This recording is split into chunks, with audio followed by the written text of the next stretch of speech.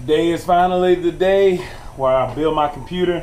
I got my case, went AMD processor, H110 water cooler, terabyte hard drive, 256 gig solid state drive, 16 gigs of RAM, thermal paste, BioStar motherboard, 850 watt power supply, GeForce 1060 video graphics card, Devastator keyboard and mouse combo, 24 inch widescreen monitor, waiting on a couple of students. We are going to try and put this thing together. Got a stopwatch see how long it's gonna take us. We're about to get started.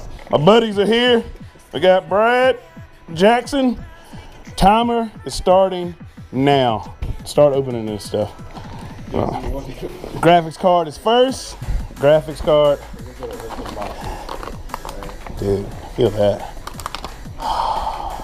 Motherboard. First couple of pieces we see for the motherboard is this thing. Don't know what it is and these two things. I think these are the SATA cables. All right, I am gonna put on gloves before I touch the motherboard. Manual. Remember, folks, this is first time for all of us. The water cooler, get a good view of it. Nice radiator, cooler, thermal paste for it. Boom.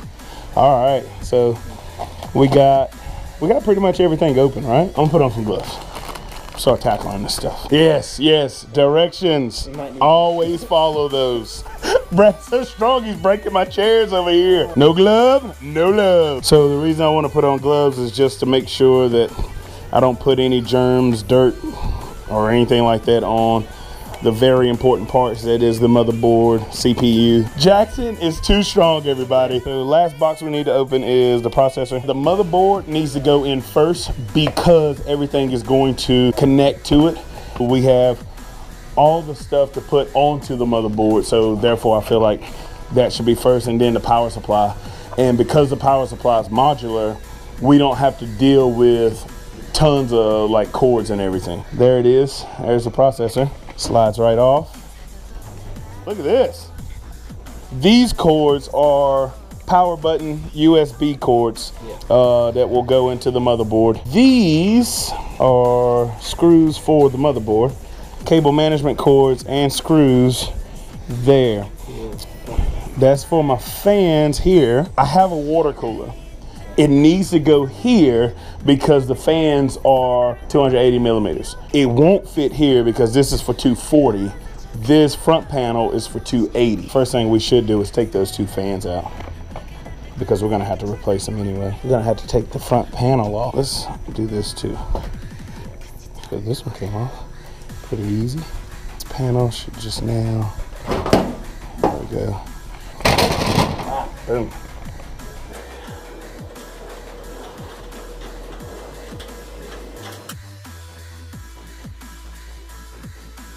In order to put it on the CPU, we need to put the motherboard in. Yeah, yeah, I'm motherboard Okay.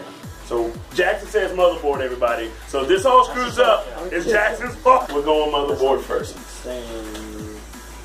It goes like right here, right? We'll just let these out. We got one that lines up. Boom. Nice. We're on our way, guys.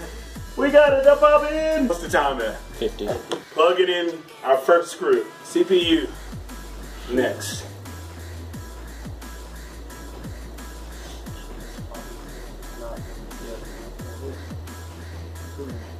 CPU done.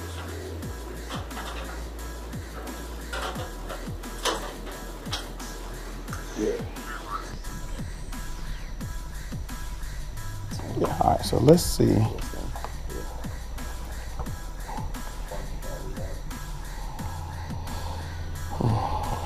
The moment of truth. We think we built a computer. Do it, Brad. Holy.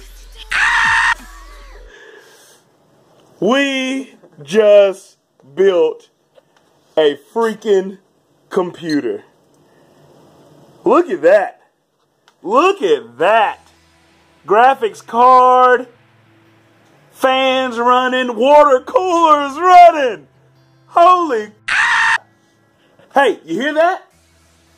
Nope. It's so quiet. Oh my goodness, we built a computer. Next, we take over the world. Holy shit. We have got the monitor hooked up, stand hooked up, uh, the mouse and keyboard hooked up, and my external CD-ROM DVD drive so that we can put the operating system on it. And we have the full case on. Do the honors, hit the power button, boom. Look at that.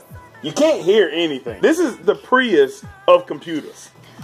Uh, I gotta hit a power button. Woo! Reboot and select proper boot device. Computer is on, we're gonna get this situated.